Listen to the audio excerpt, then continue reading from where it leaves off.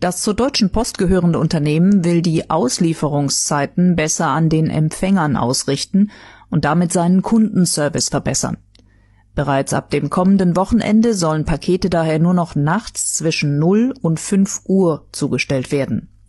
So soll sichergestellt werden, dass die Empfänger garantiert zu Hause sind, wenn der Bote klingelt.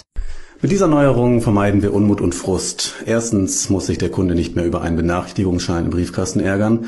Und zweitens entlasten wir den Berufsverkehr, wenn die Lieferanten nur noch nachts fahren. Es ist im Grunde genommen eine Win-Win-Situation für alle. Der Paketdienstleister betont, dass auch Menschen mit tieferem Schlaf sich keine Sorgen machen müssen, den DHL-Boten zu überhören.